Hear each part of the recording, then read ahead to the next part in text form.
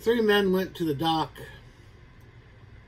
But the ferry they were waiting on needed some repairs, so they decided they'd go to the cafe and have some coffee and such. And so they, they went to the cafe, they drank and they talked and they just forgot about what they were doing. And, and suddenly they heard the engines roar and they saw the boat pulling slowly away from the dock.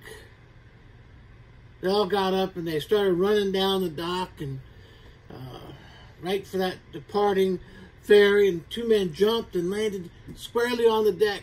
The third man, who wasn't quite as fast as the other two, caught himself on one of the, the dock's pilings and, and began to laugh uncontrollably. A nearby fisherman said to him, You just missed your boat, son. The next one's not for six hours. What are you laughing at? You're right, the man said, trying to fight back laughter. I did just miss my ferry, but the reason why I'm laughing is because those two who caught my ferry were here just to see me off. Jesus didn't want Peter and the other disciples to, to miss the boat at this stage in the game. In John chapter 21, he introduced a new question Do you love me? If the answer was yes, then the call was clear Tend my sheep. In other words, then show it. The faith response for Jesus is never just words, it's, it's actions.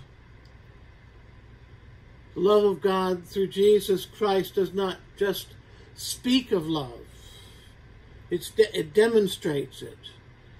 Jesus is calling the church to follow his lead and to act out of their love. In his first letter, John calls the church to love one another, for, for love is of God, whose love was manifest among us in that God sent his only Son. Notice that God's love was manifest not by the divine decree, saying that he loves us, but God's love is demonstrated, and that he sent his only Son that we might have life through him.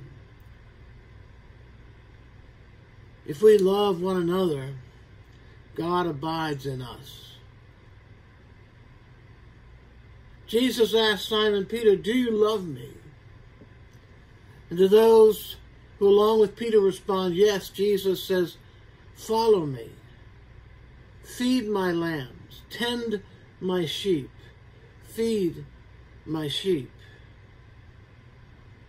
In John 21, Peter, by his actions, was asking Jesus, Now what? I spent three years living with you. Now that you're only here with us in spirit, what do I do?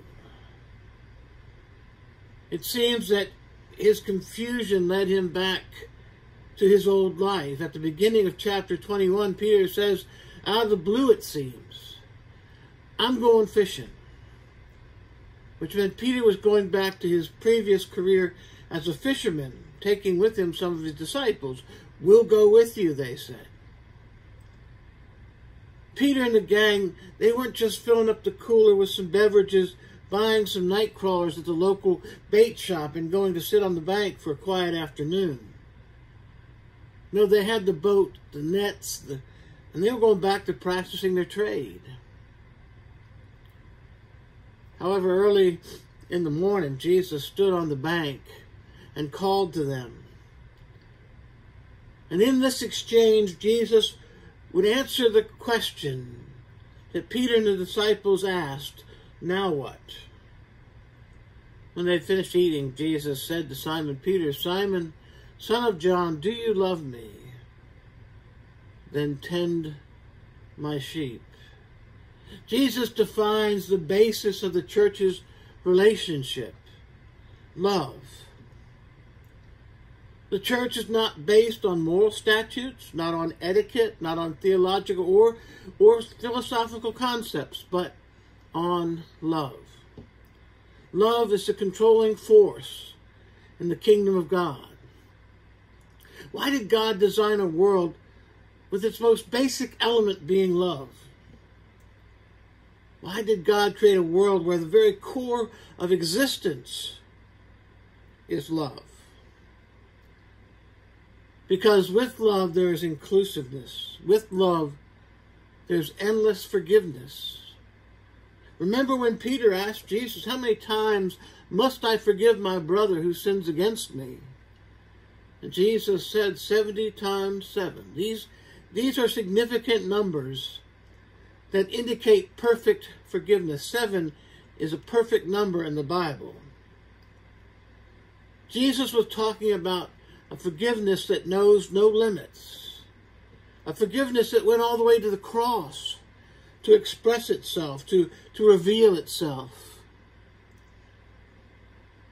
A Sunday school teacher asked her class to, to draw a picture illustrating a Bible story. One paper was handed in, contained a picture of a big car, convertible. An old man with long whiskers flapping in the breeze was driving. A man and a woman were in the back seat. Puzzled, the teacher asked little Jimmy, who drew the picture, uh, to explain his drawing. And, and Jimmy said, Sure, sure. Why, that's God, and he's driving Adam and Eve out of the garden. Ever since Adam and Eve's sin separated us from God, God has been reaching out to us with forgiving hands, arms wide open.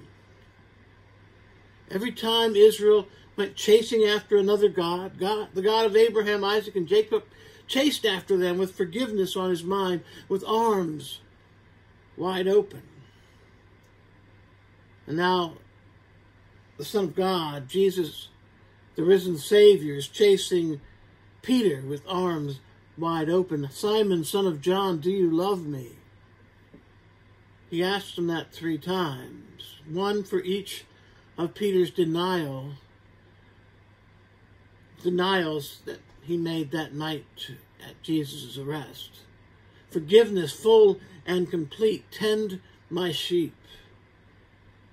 Peter, if you love me, then go out and do what I called you to do. No more fishing for fish. I made you a fisher of men. People, Peter. It's all about people. Love ever gives, forgives, outlives, ever stands with open hands. And while it lives, it gives. For this is love's prerogative to give and give and give. Now, if God would have put, say, a moral statute as the core of life, then what would become of forgiveness? Unforgiveness would not only be possible, but it may have been preferable if someone broke that one rule.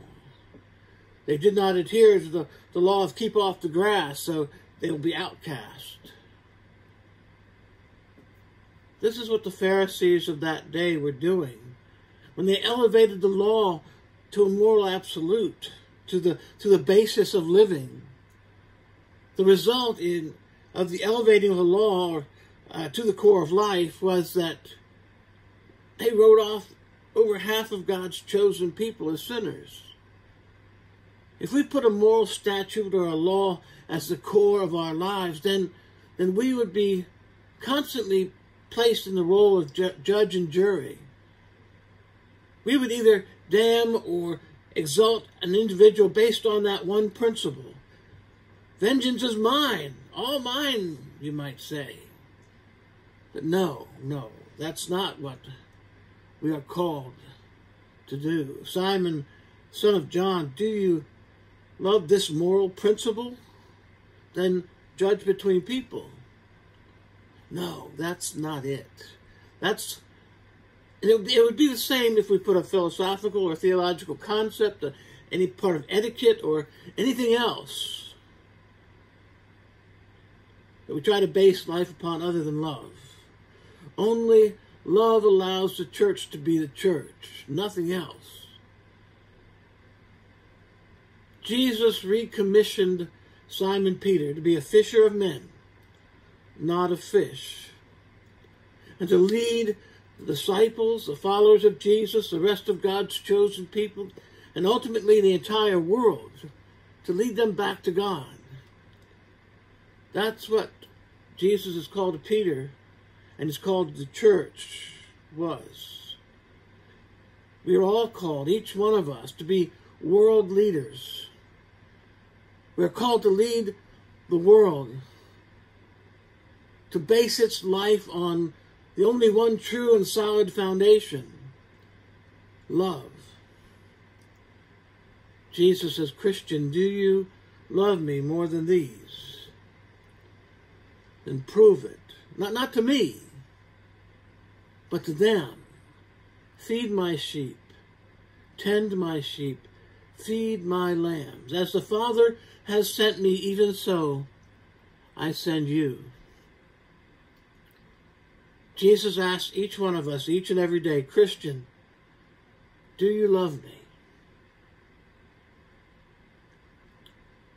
And follow me. In Jesus' name. Amen.